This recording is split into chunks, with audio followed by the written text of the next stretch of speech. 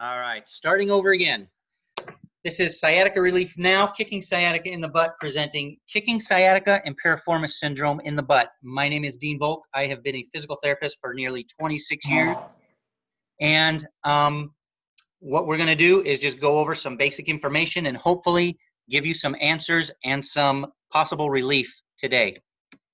And my, so do any of these sound familiar to you? And I'm sorry, I'm just going to race through these since we just went through them already. It all started slowly with an occasional discomfort when I would do some yard work, housework, do some workouts, go for a walk, play tennis or golf. But over time, it's become more and more intense and consistent. Initially, I noted some stiffness in the mornings, and over time, it would get stiff and sore after sitting for a while, and now the pain and stiffness is constant throughout the day. I notice pain in the morning, but the more I'm up and around, the better it feels. But if I'm up and around all day long, by the end of the day and the next day, it's significantly worse. I felt a twinge in my back, and it slowly progressed to a constant nagging ache. It's only in my leg and foot, occasionally in my butt, but my back feels fine. And lastly, what I hear quite often, whoops, is my back went out, I slipped a disc, or I threw my back out when I woke up the day after a workout. I bent over to pick up a pen or something off the floor. I lifted my baby, swung a golf club, grabbed groceries out of my car, stumbled over a curb, or was involved in a car accident, or I was walking a lot on vacation or holiday. Which of these makes your back or leg pain worse? Is it sitting, standing, laying down, twisting, leaning backwards, walking, or bending? Or is the pain constant and unrelenting? The biggest mistake that most people make initially when they have some back symptoms is they ignore their pain and symptoms, or they just figure if I just take some Tylenol or Advil, it'll go away. Those are great in and of themselves, but that's not going to heal the problem. And the older you are, I am finding if people have symptoms seven to nine days without relief, typically symptoms are not going to improve without getting some type of help. So people ask me, why do I take time to do this webinar? And the big reason is I love to help people and I hate hearing about and seeing you and other people struggle. And after looking up information online, I, as a PT, was confused and I assumed others would be as well. Do I bend forward or do I bend back? Do I stretch it or not? Do I demand an MRI? Do I request or demand to see a surgeon? Will this wrap or strap really work? I have a herniated disc. How come I'm not having surgery? What do I do? And after looking all that stuff up online, I started looking through different Facebook groups, and people were telling their stories. They were sharing their struggles, which I think is really awesome so that people know that they're not alone in their struggles. They started giving advice, and I realized at this juncture that I could possibly step in and help out because everyone is unique and different. And really, what works for you may not work for someone else. And even though Two people may have the same exact diagnosis, symptoms, and treatment can vary hugely. And oftentimes, symptoms may sound identical, but the source and the problem may be very different. So here I am, hopefully to try to clarify things, simplify things, and give some understanding. And lastly, in some of those Facebook groups, I started asking people how much they have spent on their care. And it ranged greatly from 70 to $100 a week to um, $1,000 in the first five to six weeks some people spending $3,000 up to $8,000 on different packages at different types of offices. And most of those people were not getting relief when I would dig and ask them more questions. Um, and there were those people who were spending anywhere from thirty to $100,000 from surgeries to their MRIs to every single possible gadget and anything just to try to get relief. And it is so understandable when people are dealing with significant pain and their life is being hindered by pain, they will do anything to try to get relief. And it breaks my heart to hear how much people spend and don't get proper answers or relief to their symptoms. So, in order to understand um, what sciatica and piriformis are, let's start with sciatica.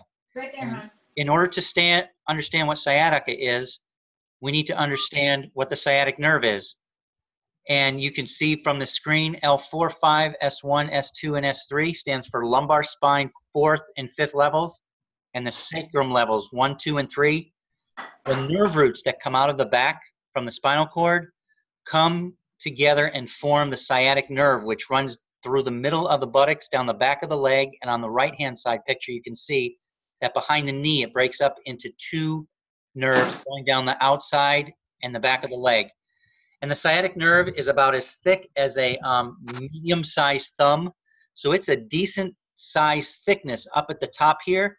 And basically, what sciatica is, is just a generic name for an irritation anywhere along the sciatic nerve. And we'll learn some of the causes of it in a few minutes. But on the right hand side, you can see the three main places of pain that people with sciatica suffer with right in the middle of the hamstring, the upper part of the calf, and then down in the bottom of the foot. That does not exclude the butt, it doesn't exclude behind the knee, it doesn't exclude any area, but those are the typical regions where the most intense pain, tingling, or numbness is noted with sciatica. So, what is piriformis syndrome? And I oftentimes give these two pictures out to people, and I've seen people do these stretches quite often. And that's basically your piriformis stretch, where you're taking one knee, crossing it over to the opposite shoulder. And that face may look familiar, or this position may look familiar, because people with piriformis syndrome have severe buttock and low back discomfort. So, what is the piriformis muscle? And you can see I highlighted piriformis in red here, and it is the triangular muscle that runs from the sacrum to the top of your hip. And here you can see on the left side of the cheek all the muscles. We peel away the gluteus maximus muscle, and to reveal you have a gluteus medius muscle, and right in the center of the buttocks, I painted it in black, is the piriformis muscle. And I've been told that um, there's a surgeon out there doing great surgeries for people with piriformis syndrome, just removing that muscle, and people saying that it's sort of just a vestigial small muscle that really doesn't matter and I will love to see what the long term studies show because this muscle does actually have a big effect on the hip. So I would assume that in the long run, um, 10, 15 years down the line, there's going to be a difference in hip mechanics from the right side versus the left side without that muscle. But the results of his surgery are showing immediate relief, people getting back to their activities quickly and without a lot of side effects. So that is good news if you're looking for quick relief, and you specifically have piriformis syndrome. So piriformis syndrome is basically similar to what sciatica is. It's an it's sort of a generic name, but it's an irritation of the piriformis muscle that causes pain, whether it's from an injury, a muscle spasm, or tightness. Any problem in the piriformis muscle can be classified as piriformis syndrome. The symptoms are severe pain in the buttocks and hip, but Due to the proximity of the sciatic nerve, the symptoms can mimic sciatica with pain, numbness, tingling, and electrical like shocks anywhere along the sciatic nerve distribution. And studies of the sciatic nerve show that approximately 80% of the time it runs immediately below the piriformis muscle. In 10 to 15% of the people, it runs right above the muscle. And in 10 to 15% of the people, the sciatic nerve pierces right through the muscle belly of the piriformis.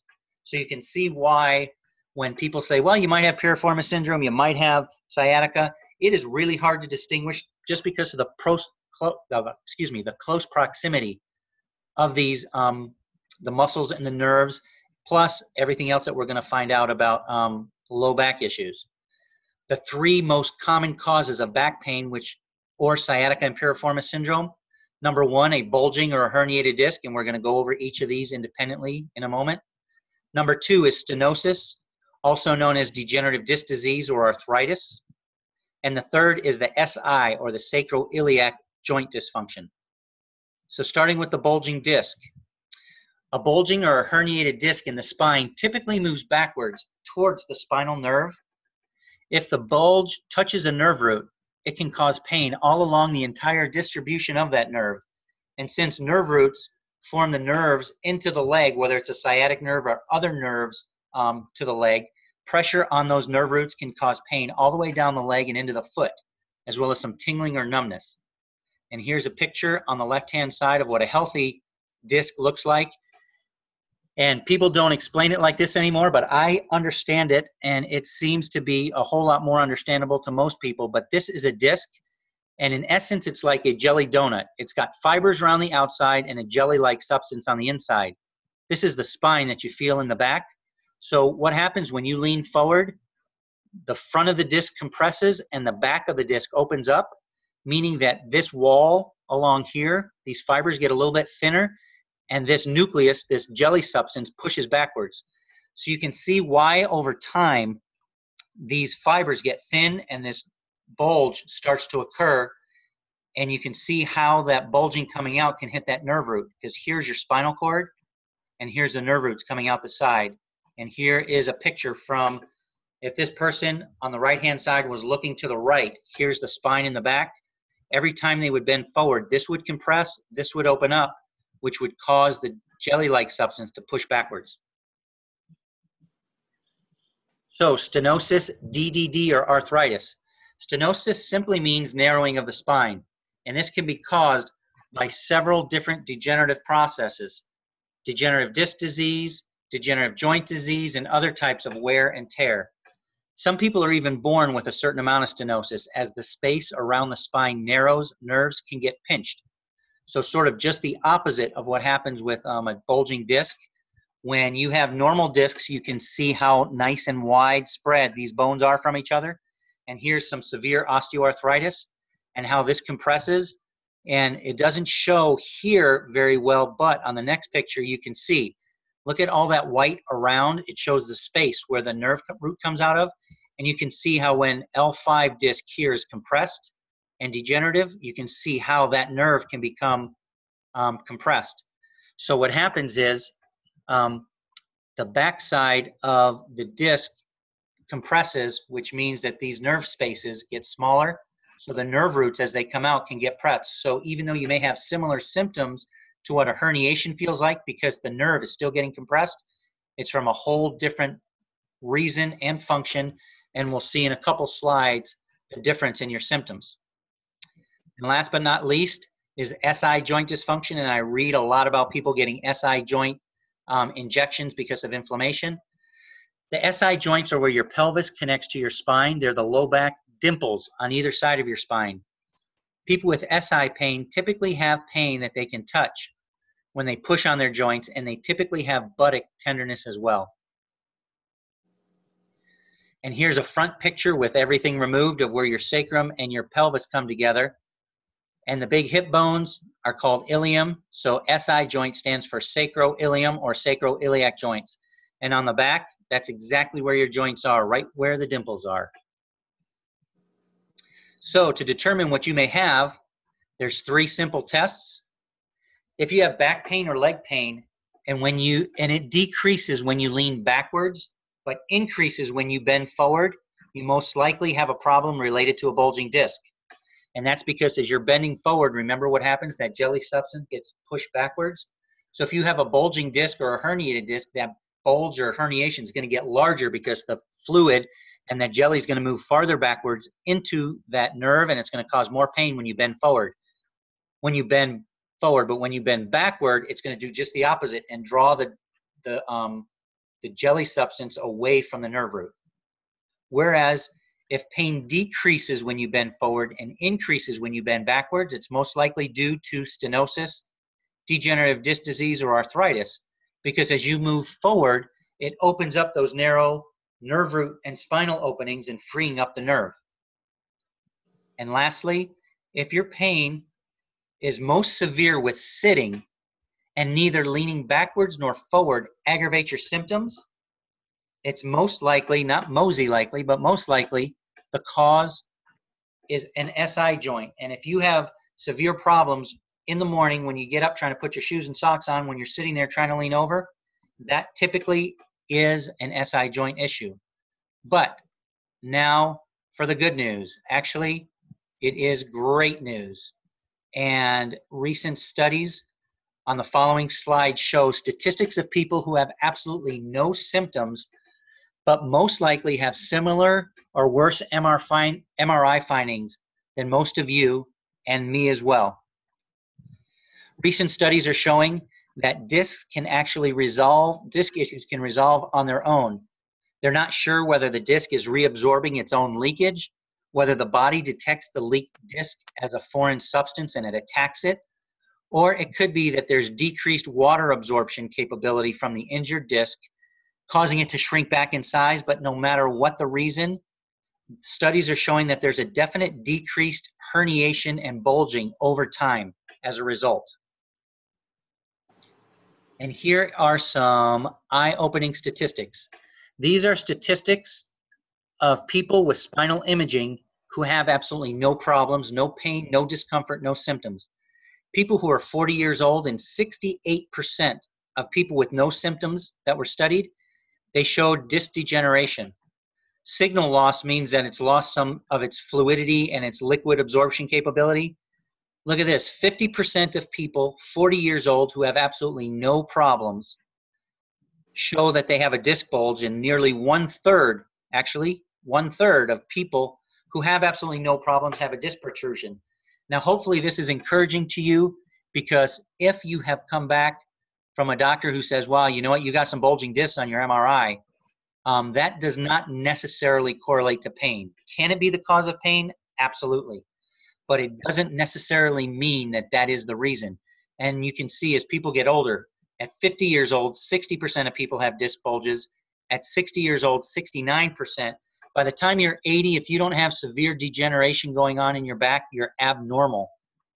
But these are people, again, like I said, with no pain. So if 96% of 80 year olds have some type of disc degeneration without any pain, I can pretty much guarantee you that if you're at 80 years old and you're having an MRI, you're going to have disc degeneration, you're going to have signal loss, you're going to have disc bulging, you're going to have um, disc height loss, and more than likely, you're probably going to have a disc protrusion going on as well. Because if 43% of people who have absolutely no pain um, show disc protrusions, I wonder how much higher that is for people who do have pain.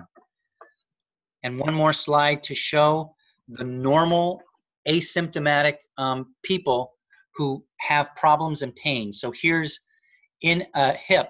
If you went to a doctor and had hip pain that was not being relieved, and um, out of 45 people who were studied, 69% had labral tears in their hip. Now, if you have hip pain and go to a doctor and you get an MRI and it shows a labral tear, nine times out of 10, they're going to say you need to get that labrum repaired. Yet, 69% of people who did not have pain from 15 to 66 years old showed a labral tear. Same thing with the shoulder. 72% of people had a labral tear. SLAP is a form of a labral tear in the shoulder. 72% of people out of 53 without symptoms from 45 to 60 had a labral tear. That means that if you have shoulder pain, you go to a doctor and they do an MRI, more than likely it's going to show you have a labral tear. But if you have the pain with it, the doctor is going to say we need to repair it. But here it shows that um, most people, 45 to 60, who were studied, have a labral tear with no pain. Now let's get to the lumbar spine. Out of over 3,000 people at 50 years old, 80% of the people showed disc degeneration. This is pretty consistent with what I showed in the slide before. More than one third had a disc protrusion, which is basically the same as a herniation. So at 50 years old, nearly four out of every 10 people have a disc protrusion, but absolutely no pain. So it is possible for you to have herniations and no pain. And then in the neck, it's even more um, significant. Out of 1,200 people who were studied, people in their 20s, 75% of them had disc bulges, and overall, 87% had disc bulges and no symptoms. So when I get somebody in my clinic who says, Hey, I had an MRI and I've got a disc bulge in my neck, I say, Well, most people do, and most people don't have pain. So just because you have a bulge, that does not um, that does not mean you have to have or you're going to be living with pain.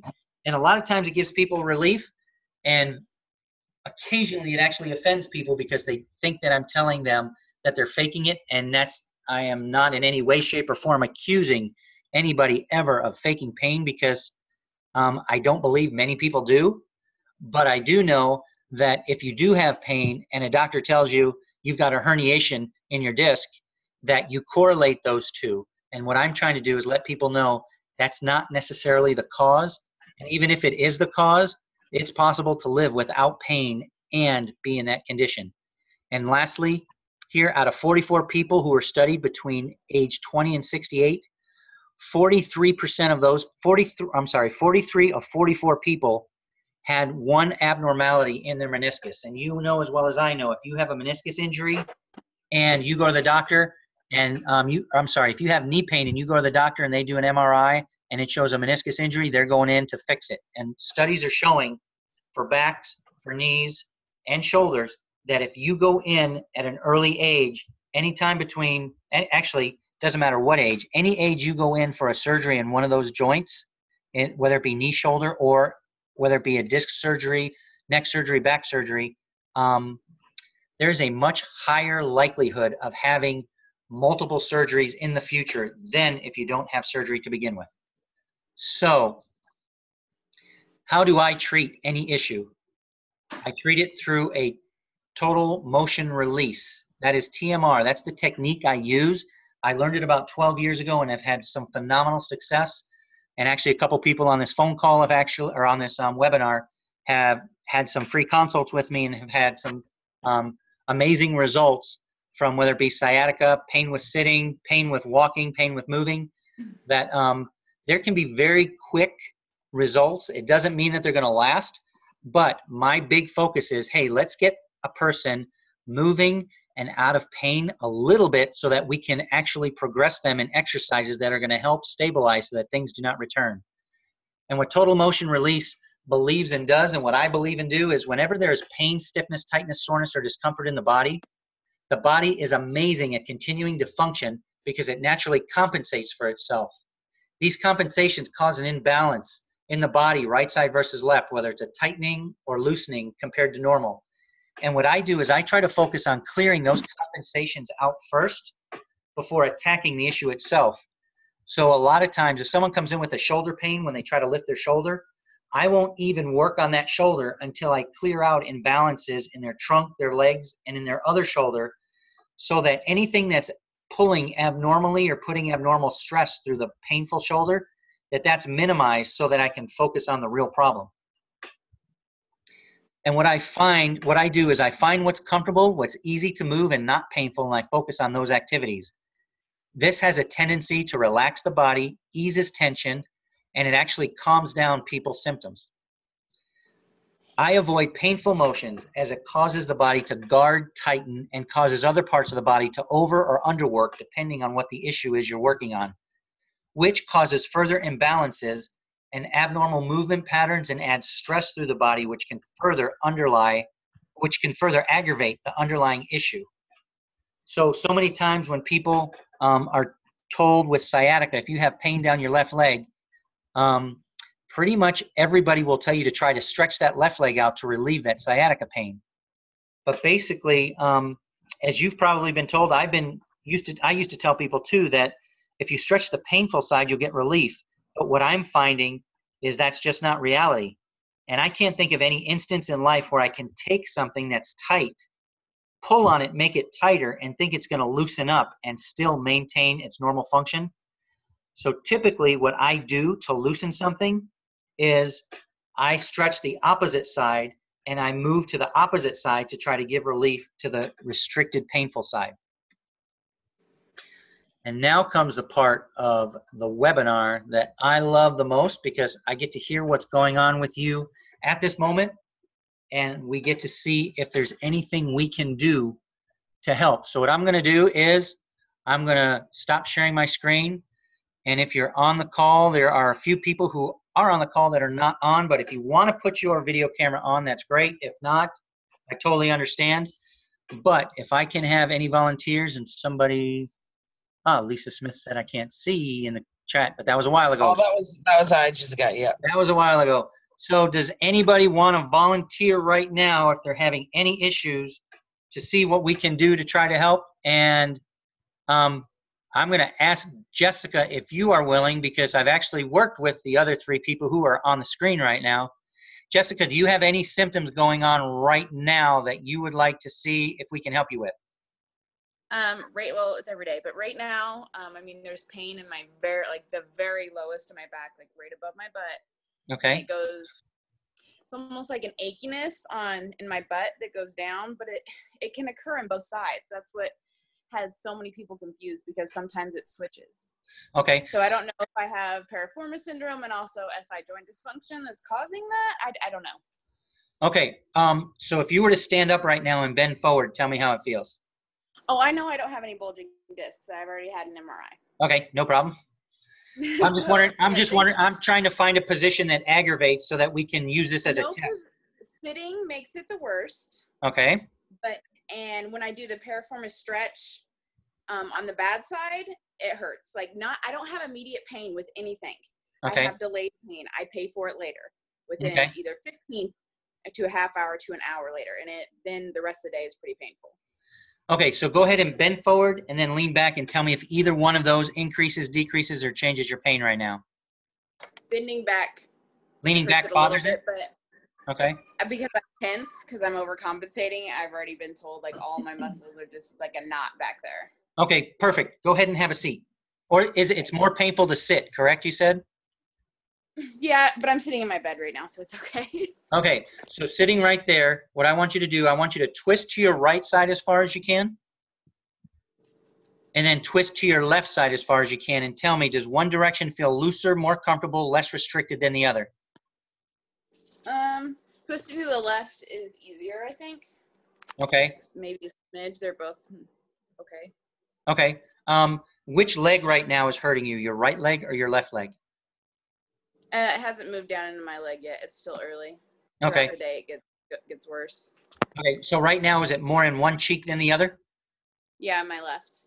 All right, if you were to cross that left foot over the right ankle, or right, left, it's in your left, left ankle over your right knee, sorry, and pull that left knee towards your right shoulder. Tell me how that feels.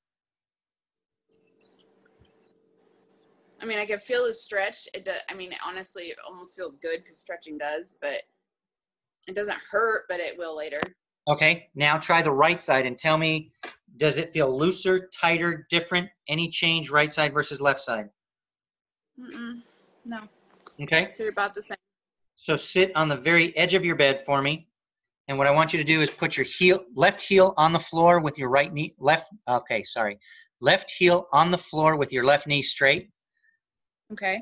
And now do a straight leg raise. So just take that leg and lift it up as high as you possibly can. Okay. Now, how does that feel? Okay.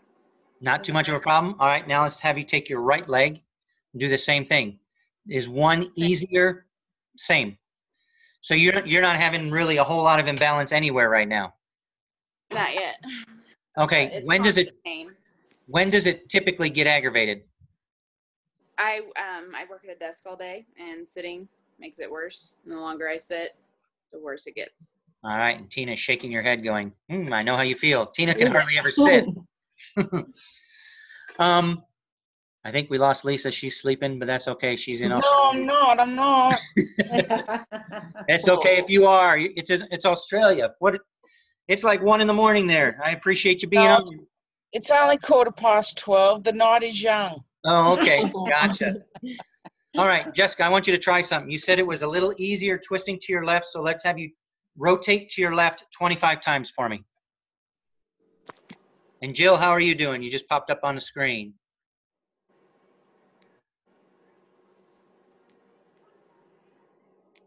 I um thought this was starting at nine o'clock and not um, half eight my time. Sorry, so I'm kind of late to the party. No problem. I actually started a little late, and I'm going to have to end at about in about 20, about 20 minutes because I got a patient at 11 o'clock that I got to go see. Tina, is your back feeling any better? A little, yeah. Okay. Have you been doing the arm lifts? No, sorry. Okay. I've been pretty frustrated with the pain, so I need to start doing that again. Okay. Jessica, you got 25 done? All right. And just like I've told everybody else on here, I need 25 more to the left, same side. Okay. Jill, where do you live again? You're I'm Texas. Texas. That's right. It's that accent that always messes me up because you definitely don't sound like you're from Texas, but that's okay.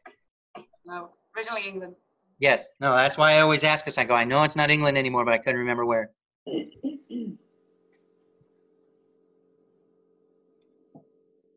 right, and then there's one shy person who's not on board here. Who's not on screen? Joni, if you have a camera, you can join us on screen if you like, but no pressure.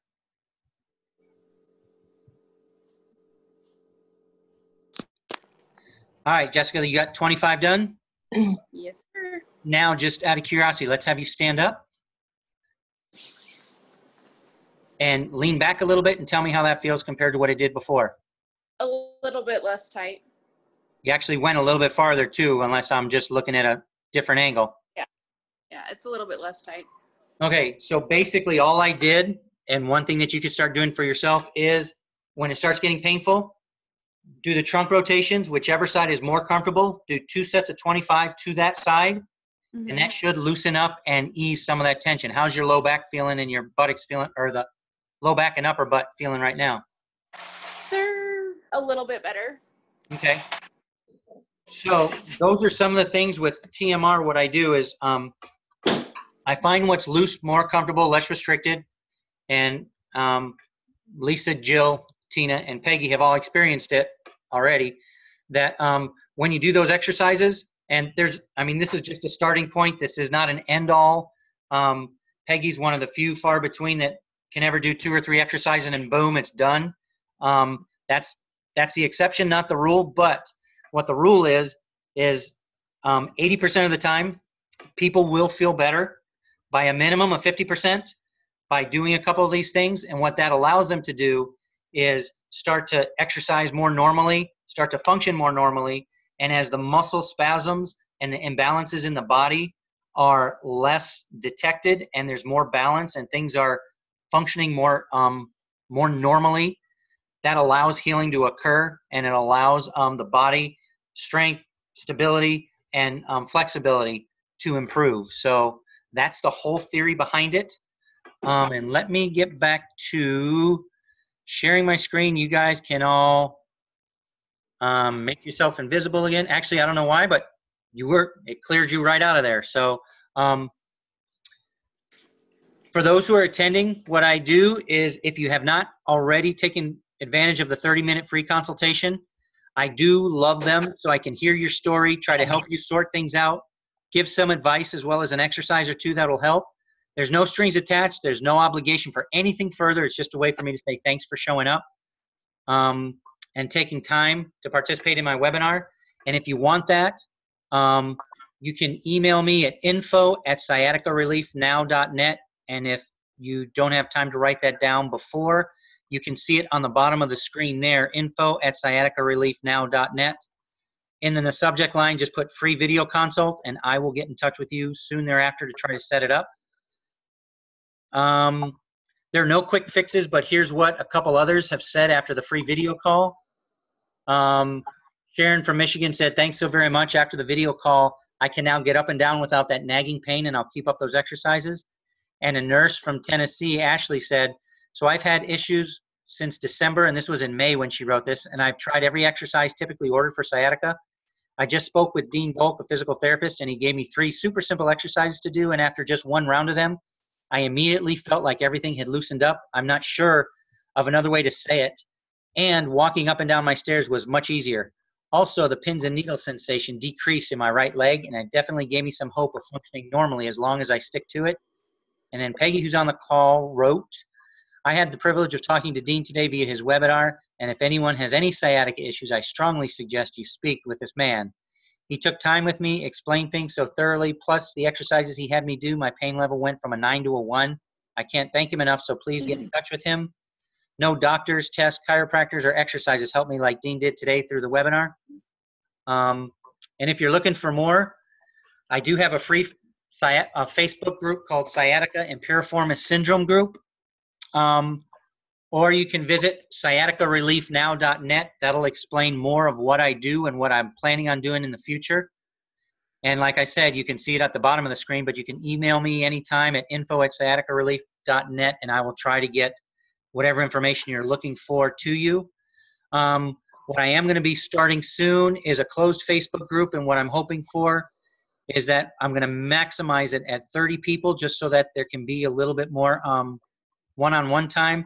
I'm going to do live um, Facebook. I'm going to do Facebook lives weekly with question and answers for 45 minutes to an hour. And obviously, um, right now we have about 195 people, I think, on the um, Sciatica and Piriformis group, and it is getting tough to keep in touch with everybody and answer everybody's questions. I'm trying, but right now it's just me and it's kind of tough to be able to get to everybody. So I'm looking to possibly um, spend a little bit more time with fewer people, um, but it would be a paid Facebook group. And what I'm thinking is $40 a month.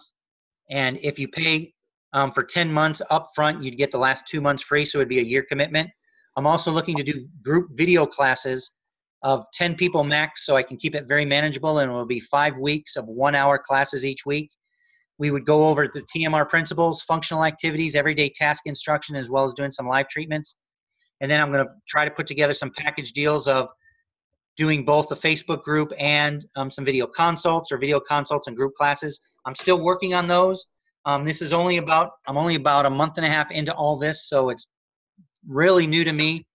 But what I did want to offer and just have some questions. If you're serious about getting the help you need and deserve, if you're ready to start living with less pain and you like your life, what would your life be like if 50% of your symptoms were alleviated?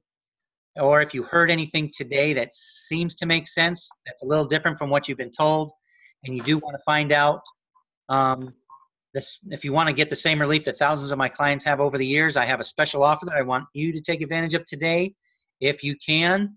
Um, and here's today's offer. Um, I'm putting together, typically my video consults are $70 a visit for now, and they are starting to fill up. And I'm thinking I may have to raise the price because I'm just looking at what I'm doing and the efforts I'm putting in, um, not to try to squeeze people, but um, typically five a five pack would be $350, but today I want to make a five pack available for 300 or $299. If you go to SRN, and it's real simple, SRN, um, sciatica relief now video consult 5.paperform.co not com.co if you go to there there's a form there and if you fill that out and pay we can um, start that as soon as actually monday i have some openings um, i'm only going to have three of these available at this price for now um, so if you want it please fill out that form i'll get notified by email i'll get in touch with you hopefully later today and we could set something up starting this week. Um, again, you can always email me at info at sciaticarelief.now. If you didn't have a chance to write SRN video consult 5.paperform.com.co down, you can always ask for it when you email me. But I did want to say a big thank you. I greatly appreciate you taking your time to listen and watch today. And I please, please, please take advantage of definitely the free consult and that five pack of videos um, does not include the free consult. The free consult is in addition. So I would, I always want to do a free consult with somebody before I have them pay anything because I want to make sure that they're a good fit. I want to make sure that I'm right for them, they're right for me, and that they understand where I'm going and what I'm doing because I would hate to charge somebody, not get any results, and have you hate me. So that's not what I'm about. Um, and once again, please email me at info at sciaticarelief.com um, net. So I'm going to stop the recording.